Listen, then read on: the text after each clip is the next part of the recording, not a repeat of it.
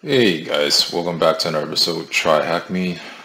Uh, just finished work, took a nap. So today we're gonna do SSRF server-side request for forgery vulnerabilities. The last video was file inclusion. I hope you like. Hope it was helpful, guys.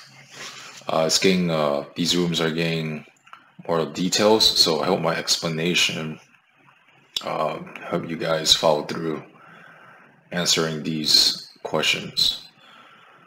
Uh, as always, guys, I recommend reading through each task. I'm just going to show you how to answer the questions, but you should read each task, get a full understanding of uh, what uh, these rooms about. So today, we are learning how to exploit server-side request forgery vulnerabilities, allowing you to access eternal server resources. So I guess let's get right into it. Task one, what is an SSRF? And the question is, what does SSRF stand for? And it says right here, server-side request forgery. You can copy and paste or type it in. And next question is, as opposed to regular SSRF, what is the other type? And since there are two types, one is regular and the second one is blind. I'll type this one in.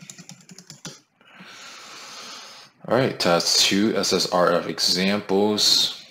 Click the view site button. And the question is, what is the flag from the SSRF example website? So as you read the instruction, this talks about different examples of SSRF attacks.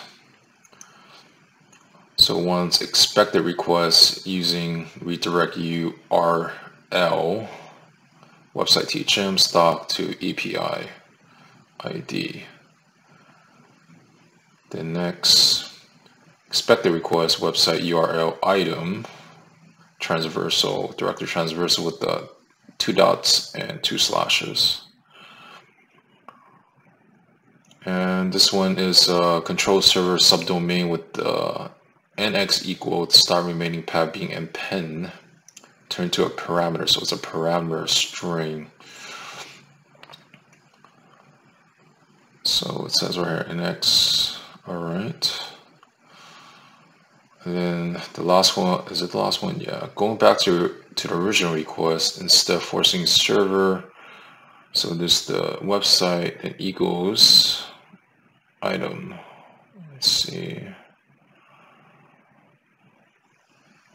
An instruction, using what you learned, try changing the address in the browser below force to force a web server return data from HTTPS server website that to make things easier, the server server requesting bar at the bottom mocked browser will show the URL of the website requesting. So it's already highlighted right here, website THM API. So you read through this, I believed we're going to use the redirect subdomain. So basically it's website then equals the API website. So what we need to do is, remember guys, uh, you just need the website link while the HTTP plus. So we're gonna delete that. All right, so the website is server website.thm flag equal ID equal ID2. Now, the question here says append nx at the end to ignore the rest of the URL. So you go back. This one talks about append. Now, let's try this. This is at the end, right? So nx. There you go. THM SSR master. All right, let's exit split. In task three, finding an SSFR to start talking about potential spotting web applications in different ways. And the question is, what website can be can be used to catch HTTP requests from a server? And in the last line, it says you can use requestbin.com.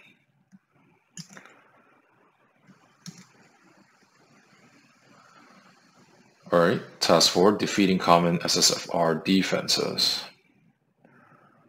Just talk about deny, allow, list, open, redirect. And the questions below, what method can be used to bypass strict rules? And there's one, it says right here, bypass is open redirect. And what IP address may contain sensitive data in a cloud environment? In the cloud environment, beneficial block access to IP address 169.254.169.254. What type of list is used to permit only certain input? Oh, that's pretty easy. Allow list. And what type of list is used to stop certain import deny list? There you go. And the last one, Taskify SSRF practical. We're just gonna find follow this along or reload my start machine and show split view. Now let me close this off.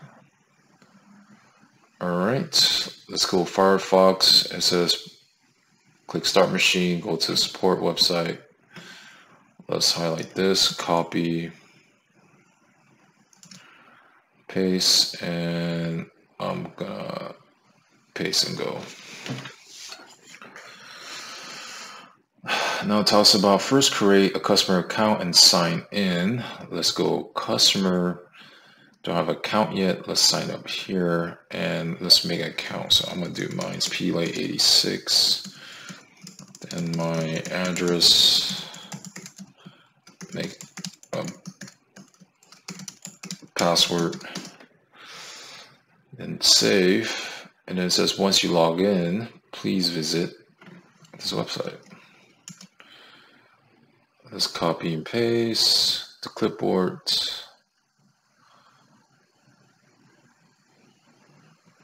Paste a go. And it says you choose one avatar and click update button. You see the form. All right let's click update save. This is to view the page source code will show you current avatar displaying scheme with the base64 code. So you right click on the image inspect let's view this in full browser mode. And it talks about base64 encode so this is what it's referring this long code right here oh that's pretty long it says now let's try making a request again changing the avatar value to private so let's click right here and it says right click inspect and it's talking about changing value to private. Okay. So highlight, delete, private, uh, and just update. Okay, update and get the same screenshot.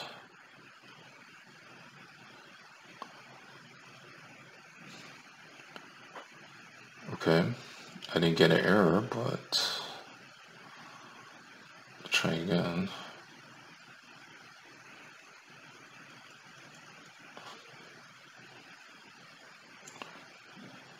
Let's see.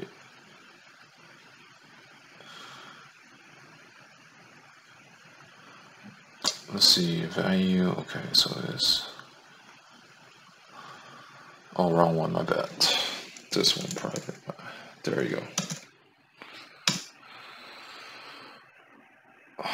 And I got the same thing, URL cannot start with private. And it's talking about change the avatar x slash dot transversal dot dot slash private. Okay, let's change it again.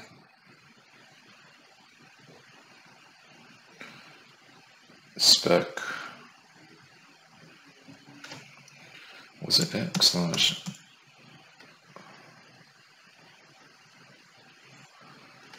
private and update. Let's update. Nice. And it says view the page source code avatar you see the current contain base64 encoding. Decode this content. Alright, so right click inspect and there you go guys. Base64. Now let's copy the code, right click, copy, uh, base64, you could Google it and decode right here, click the link, copy and paste, and click the decode button. And there you go. THM, you work out the SSFR. Alright guys, thanks for watching. You can share on Twitter, Facebook, and LinkedIn as I already share mine. Um, if you like this video guys, please give a thumbs up, hit the subscribe button, hit the notification button, comment to let me know how to improve these videos. And the next one is going to be, let me see. It's part of web, still web fundamentals and we already did file inclusion, SSF, RF. So the next video is going to be cross-site scripting. I'm going to reset the process. And yeah, just want to let you know, guys, I do not have IT experience, but I'm trying to pivot my career. And currently, My certifications. There you go.